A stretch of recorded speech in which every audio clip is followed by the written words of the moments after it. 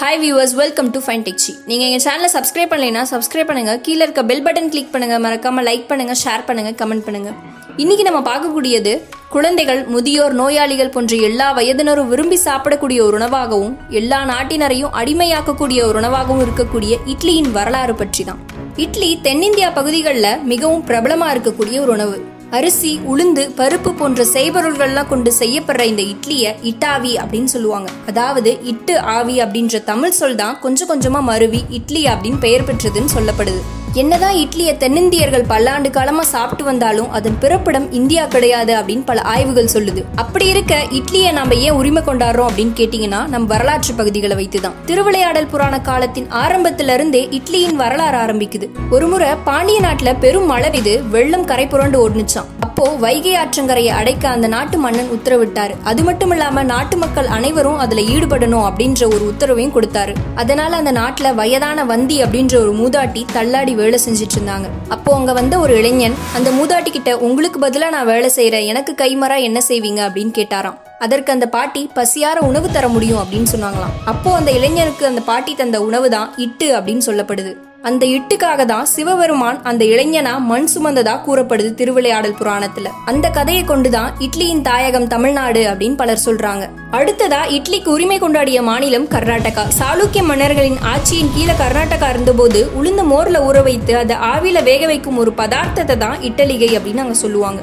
உளுந்து அப்படின்னு சொன்ன உடனே அது புறநானூற்றில் இடம்பெற்றதுனால இட்டலி வந்து கர்நாடகாவுக்கு சொந்தம் இல்ல தமிழ்நாட்டுக்கு தான் சொந்தம் அப்படின்னு பலர் சொல்ல ஆரம்பிச்சாங்க. மேலும் கிபி ஆயிரத்தி நூத்தி முப்பதாம் ஆண்டுல மேலை சாளுக்கிய மன்னன் மூன்றாம் சோமீஸ்வரன் மான சொல்லாசா அப்படின்ற நூல்ல இட்டாரிக்கா அப்படின்ற ஒரு வார்த்தையை குறிப்பிட்டிருக்காரு. அதுதான் இட்டலி அப்படின்னு நம்பப்படுது. அது போக பத்தாம் நூற்றாண்டுல தமிழ்நாட்டுக்கு குடியேற வந்த சௌராஷ்டிரர்கள் கொண்டு வந்ததுதான் இட்டாட்டா அப்படின்னு சொல்லப்படுற இட்லி அப்படின்னு நம்பப்படுது. ஆனா இந்தோனேஷியா தான் இட்லிக்கு தாயகம் அப்படின்னு பல அறிஞர்கள் சொல்றாங்க. அதோட சீன யாத்ரீகர் யுவான் ஸ்வாங் அப்படின்றவர் ஏழாம் நூற்றாண்டில் ஆவில வேக வைக்கும் ஒரு பாத்திரத்தை இந்தியாவில் கண்டுபிடிக்கவே இல்லை அப்படின்னு சுட்டி காட்டியிருக்காரு அதனால இது இந்தியாவுக்கான உணவா இருக்காது அப்படின்றது வரலாற்று ஆய்வுகள் குறிப்பிடுது. இட்டாரிக்கா அப்படின்ற பெயரை பண்டைய இந்திய இலக்கியங்களில் குறிப்பிட்டிருக்காங்க. அது மட்டும் இல்லாமல் இட்லியை பற்றிய முதல் குறிப்பு கன்னட மொழியில சிவகோடி ஆச்சாரியார் அப்படின்ற வடராதனை அப்படின்ற காவியத்துல எழுதியிருக்காரு. என்னன்னா பண்டைய நூல்களில் குறிப்பிட்டுள்ள இட்லியோட செயற்முறையும் நாம இப்போது தயாரிக்கும் இட்லியோட செயற்முறையும் வேறுபாடு நிறைஞ்சதா இருக்கு அப்படின்னு சொல்லியிருக்காரு. அது மட்டும் இல்லாம ஆயிரத்தி இருநூத்தி ஐம்பது ஆண்டுகளுக்கு பின்பு எழுதப்பட்ட நூல்களில் தான் இட்லியை பற்றி குறிப்பிட்டிருக்கு அப்படின்னு சொல்றாரு. ஆனா இந்தோனேஷியாவை ஆண்ட இந்து சமய அரசர்களின் நூல்களில் குறிப்பிட்டுள்ள செயற்முறையும் நாம இப்போது பின்பற்றும் செயற்முறையும் ஒரே மாதிரி இருக்கு அப்படின்னு உணவு நிபுணர்கள் சொல்றாங்க. அதை பல ஆராய்ச்சியாளர்கள் நிரூபிச்சிருக்காங்க. அதனாலதான் இட்லியோட தாயகம் இந்தோனேஷியா அப்படின்னு சொல்லப்படுது. மேலும் மருத்துவர்கள்ல இருந்து டயட்டீஷியன் வரைக்கும் இட்லியை உணவா பரிந்துரை செய்யறதுக்கு காரணம் அது எளிதா செரிமானம் ஆகக்கூடிய தன்மை கொண்ட உணவு அப்படின்றதுனால மட்டும் இல்லாம ஆரோக்கியமான உணவு அப்படின்றதுனாலையும் தான்.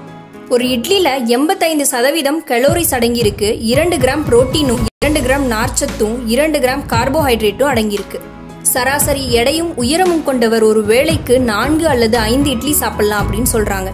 இட்லியுடன் சாம்பார் சேர்த்து சாப்பிடும்போது நமக்கு புரதச்சத்து அதிகமாக கிடைக்கும் அப்படின்னு சொல்லப்படுது. மேலும் இட்லிக்கு சட்னி வைத்து சாப்பிட்றத குறைச்சிக்கணும் அப்படின்னு மருத்துவர்களால் சொல்லப்படுது.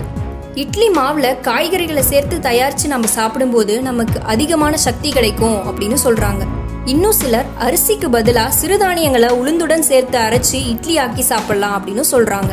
மேலும் குஜராத்ல டோக்ஸா அப்படின்ற பெயர்ல இட்லி சாப்பிட்றாங்க. கேரளால புளிக்க செய்த மாவுல சிறிது இனிப்பு சேர்த்து வட்டப்பம் அப்படின்ற பெயர்ல இட்லி சாப்பிட்றாங்க. சன்னாஸ் அப்படின்ற மங்களூர் இட்லி ரொம்பவும் பிரபலமானது.